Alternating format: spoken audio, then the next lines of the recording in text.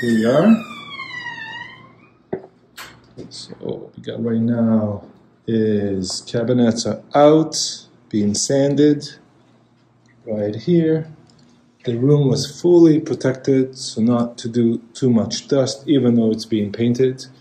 Uh, the ceiling, if you can see, is being vacuumed and then uh, run a brush over. It's a lot brighter than it was. The walls will be, of course, painted. All the floor is beautifully protected.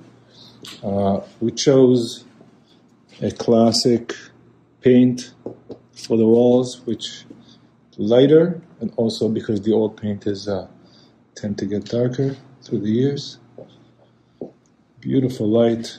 This will. This is still the old paint. You can see just just cutting again. So this will be really really beautiful. We'll do the baseboards in the same one too, just to save on expenses.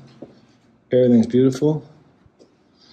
I'm much looking forward to the results of this unit.